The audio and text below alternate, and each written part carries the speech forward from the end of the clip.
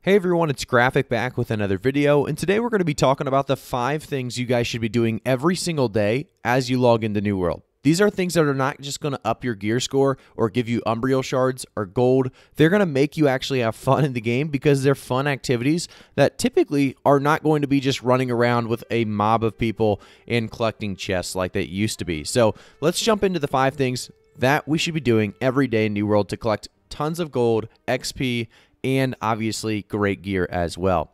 So the first thing we're going to do is focus in on the daily faction quests. Uh, let's go to my quest guy. I just, by the way, switched faction reps uh, to Covenant, so realistically, I have no reputation. I have to build that right back up. But the cool thing about this is Shattered Mountain and Brightwood PvE and Shattered Mountain PvP, I should say, uh, are probably the best two. Also, Great Cleave PvP is really good, but you're going to want to do these activities. So you can see the amount of gold and faction tokens you're going to receive for this. So if you do the PvP, you can see here you also get Azoth Salt and PvP XP, which will help get your level in PvP much higher, much quicker.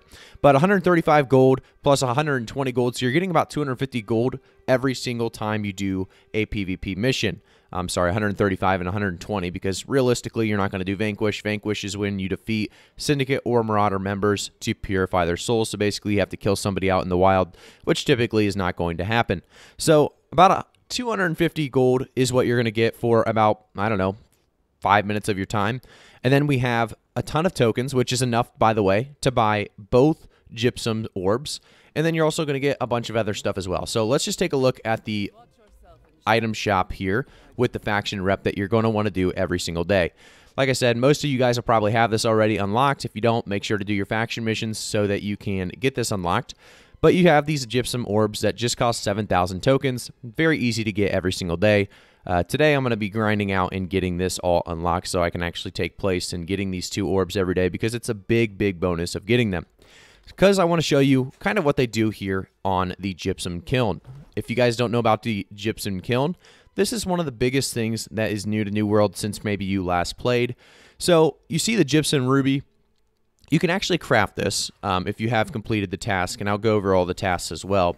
But this is one of the tasks that you'll be kind of able to complete. So we also have the diamonds. So let me craft these real quick.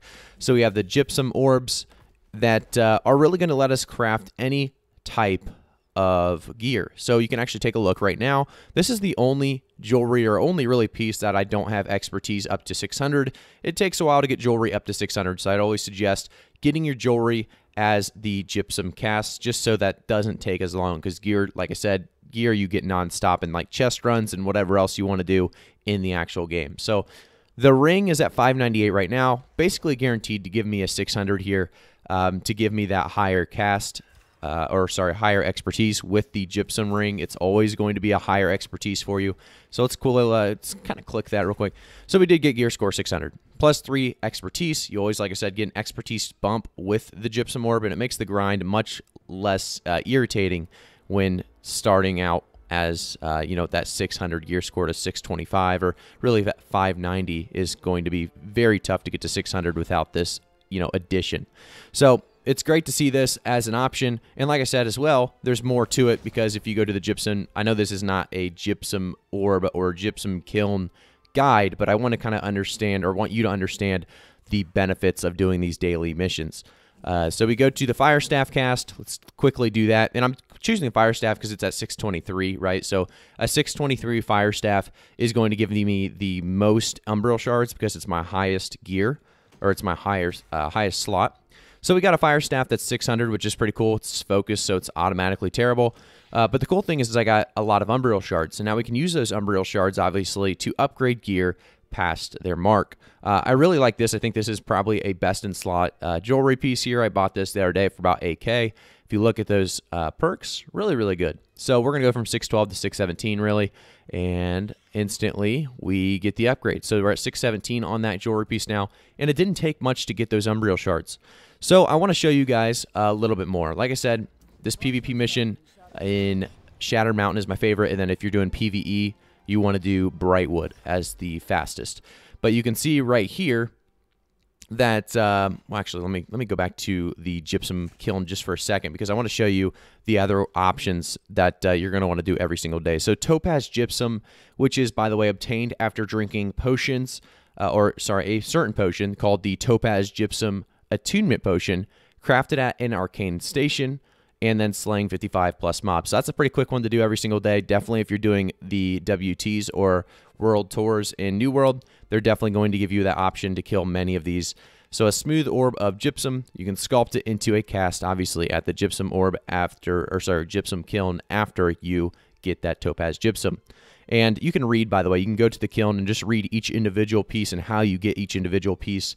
Another great one is chopping trees or gathering. You get diamond gypsum by getting three pouches with both gold and gypsum in it. It's really, really good gold and really quick gypsum as well. Um, I kind of want to show you guys how quick that is because I think I only got one today. I always like chopping trees. It's been some reason very successful in the past for me. Um, let me just do a couple, and if I don't get it, that'll just kind of be unlucky. Um, so we got a hidden stash. Okay, so a hidden stash, it's that quick. You get three of them a day. You get instantly a gypsum, which, like I said, is an automatic gear score upgrade. You also get 72 coins in this pouch. Usually you can actually get up to about 100, it seems like. So very, very good all around to make sure you do those three every day. We also have crafting and refining. So after reaching a single aptitude level via either crafting or refining, you are going to get an emerald gypsum. That's another great thing to do every single day. Uh, realistically, I don't focus too much on crafting or refining. You can see my trade skills here, not too special, uh, but you are able to see with stone cutting that really these pips are exactly what you're looking for. So 201 right now. If I go one more pip, I'll get a, uh, like I said, an emerald gypsum. So number five is going to be OPR. OPR is a lot of people's best way of getting, you know, automatic two gypsum. Realistically, guys, 3v3 arena is even better. So you can get two gypsum by Outpost Rush, that takes probably I don't know 25 minutes per game at the very least, or right around there actually, depending on the the teams and how close the game is. But 3v3 arena, you get a 50% chance if you lose and a 100% chance if you win. So you can get four just by doing PvP. So you want to do two outpost rushes a day and then probably three to four 3v3 arenas a day, depending on if you win both or maybe you lose all of them and you'll have to do like four or five. But 3v3 arena is so quick and realistically, it's, in my opinion, more fun as there's more skill involved in the lower scale and small scale PvP as you actually have a say in kind of your teammates and, you know, how to position. Um, I just like 3v3 quite a bit more, but Outpost Rush is definitely a fun option as well. When it comes to PvP, I'll take any of it. So for Gypsum right there, if we do all five of these tasks, realistically, you should, like I said, get quite a bit of gear score upgrades along the way. And this is also great gear, some good gold as well. And remember, you can always do many, many other daily tasks. These are just some that are going to help you out a lot along the way. If you go over here and read, like I said, about each gypsum, put these into your daily activities. Uh, you know, find out what they do or how to do them, and uh, you can start putting them into your daily activities. So you can run two dungeons a day if you want as well, and you'll get a, uh, you know, awarded a sapphire gypsum for a level 60 plus expedition bosses. So very, very cool all around. There's a lot of different options for you guys to jump into every single day, but these are the five things you should do every single day in New World. Like I said, it's all very quick, and you can get probably every single thing I said done in less than, easily less than two hours. Um, if you count the expeditions, it'll be maybe a little more. But uh, realistically, like I said, without the expeditions, you could probably even do an hour and a half and have all of these things done very, very quickly. So, a lot of upgrades in such a short amount of time. Have fun in New World. It's all about having fun. There's a lot of cool things that have just been recently added to New World. A lot of people saying the game's dead. Obviously not, as we see huge population increases. I'm excited for the new New World additions, uh, you know, bonuses that we're getting with Brimstone Sands and so much more. So I'm going to give you so much new content here in the next couple of weeks and months ahead. Hopefully you guys like liked today's video. I'll see you all in the next one. Make sure to like the video, subscribe to the channel, and turn notifications on.